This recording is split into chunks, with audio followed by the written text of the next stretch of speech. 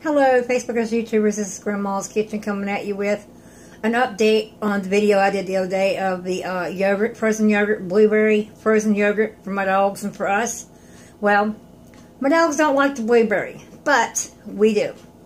So, I'm going to show you what it turned out like, okay? Alright?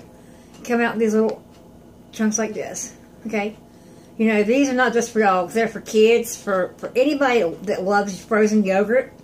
So, um, y'all could do this with banana, strawberry. My dogs do love banana, strawberry, uh, frozen yogurt, but they just don't like blueberry. But here's the little ones. They're really good. You can use them in um, smoothie drinks. Uh, you could take this and pour it into those little um, little uh, things to make ice cream for kids. You could use it that way.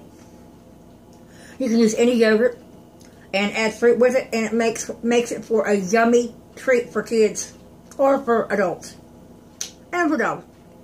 So there you have it. They're really good. I go around and eat them all day. Even though my dogs don't like them, we love them. So, if you like this video, thumbs up, hit like, subscribe.